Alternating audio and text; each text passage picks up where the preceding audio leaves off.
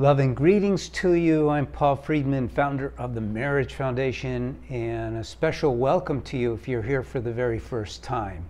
And you should be aware that our approach is non Western psychological. I used to be a divorce mediator. In 2001, I saw the light when clients asked me to help them save their marriage instead of break it apart and give the kids to each other and all of that.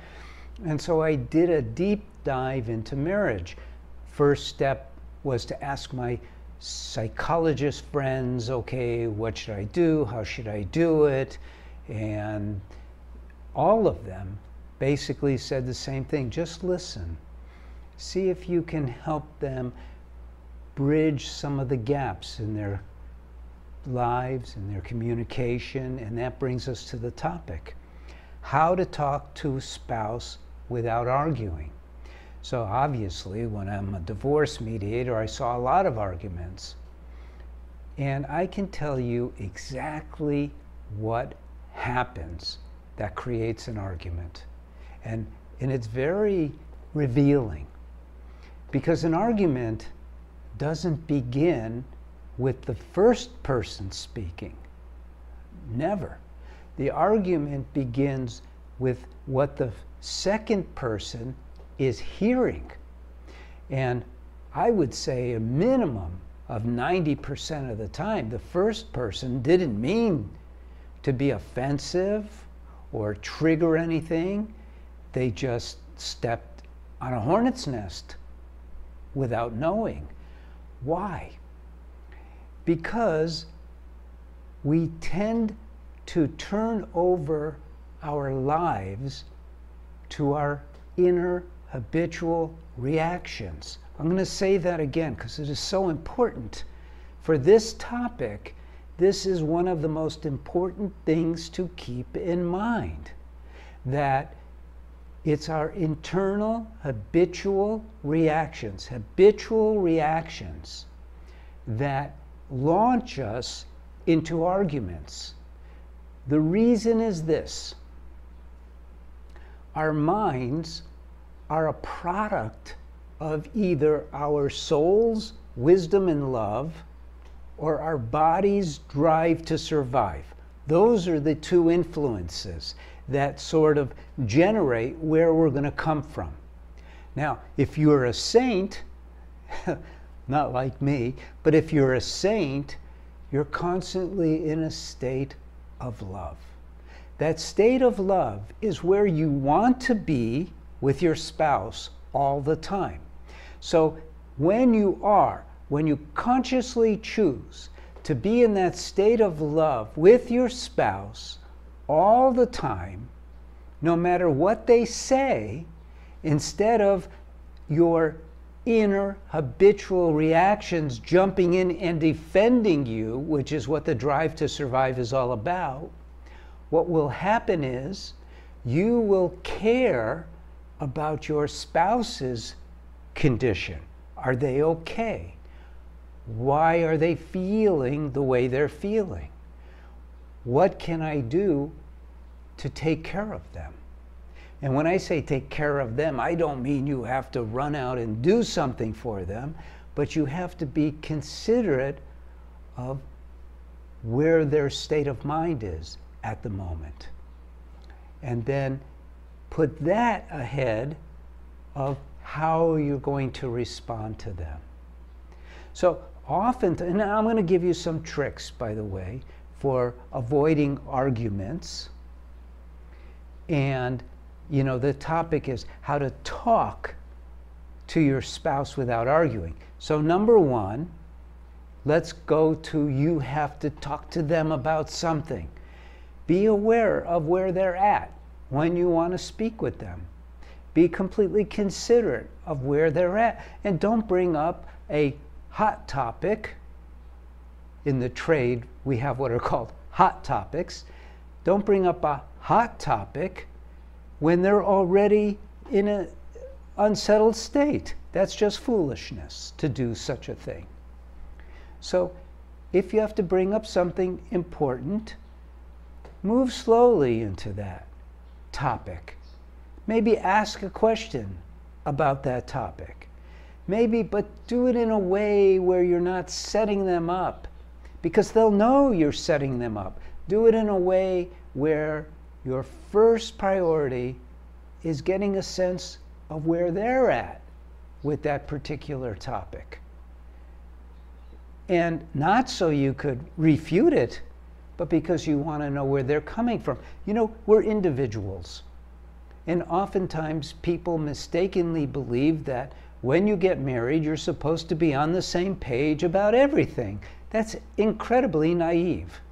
We're never on the same page about anything, but we can become aligned with our spouse with almost anything because it's no big deal. Years ago, somebody wrote a book Don't Sweat the Small Stuff, and Everything is Small Stuff. Here's the qualitative difference between us at the Marriage Foundation and virtually everyone else who is helping people with their marriages. And this is not to put them down. But when I got started, as I said, I talked to my marriage counselor friends, and I didn't like what they were responding to me with that I should just ask questions, da da da da, because it felt to me like they weren't helping the couple progress. So I had to ask, well, what does that mean to progress? To progress means to move towards achieving the very reasons we get married in the first place. People get in a state of breakdown with their connection and their relationship simply because they don't ask those questions in the beginning. Why am I married? What is it that I wanted out of this marriage? I found that there's a universal answer to that. There's three things. Number one, we want to be happier. We want to be happier than we are remaining single.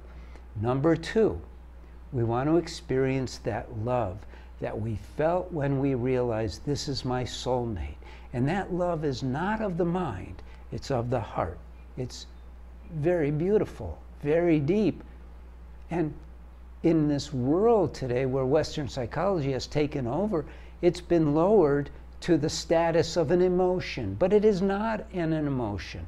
Now, I cover all these things of what is an emotion, what's the mind, a hierarchy of uh, mind, soul, and body. I talk about all that in my books, and especially in the courses we have for both men and women. They're separate courses to help people understand what you're dealing with. But the three things that you get married for happiness, love, and harmony. We don't even think about that in, in these terms. We're, we're oblivious to that based on the teachings that were given. But when I tell you that, you go, yeah, yeah, of course. It is an of course. And so our communication should also be striving towards achieving happiness, love, and harmony. If those are your pole stars, then the chances of an argument are nil. But if we are ready to defend our turf, if we are ready to prove our spouse is wrong and we're right, then we're going to have arguments. It's that simple. So all of the little tricks have to be under the umbrella of I want happiness, I want love, and I want harmony. And I'm married to my soulmate, so I want it for them even more than I want it for myself right?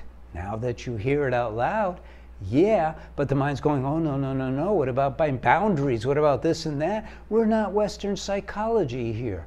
We don't care about boundaries. You're building the connection of love between the two of you.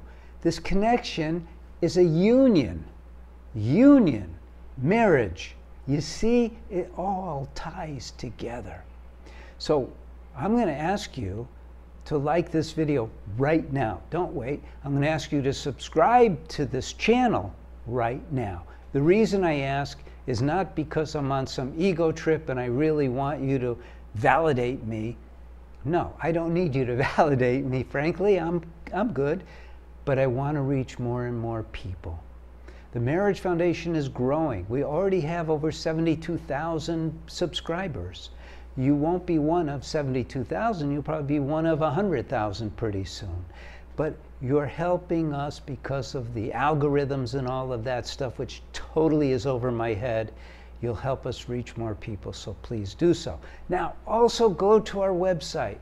If you have a question for a counselor, it's a free service we offer. We're nonprofit, where you ask a counselor, you could ask your question and download the top 10 do's and don'ts for marriage. And visit us again. It's so good to see you.